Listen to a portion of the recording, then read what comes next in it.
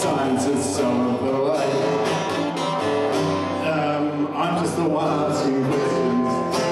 I'm just the one seeing truth. How can you be so minded? You skeptics are all so uncouth.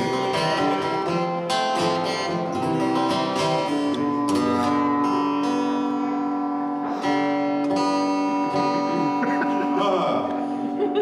I remember this one.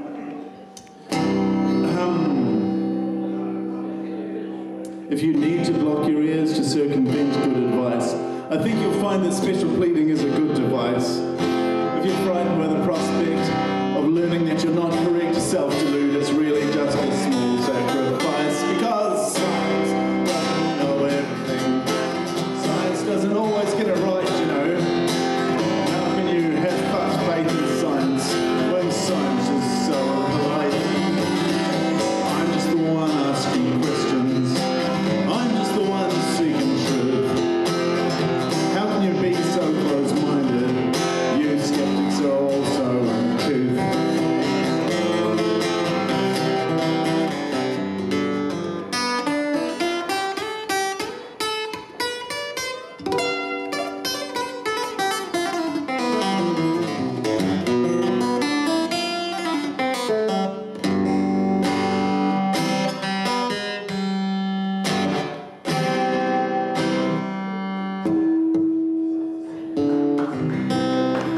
that's here it.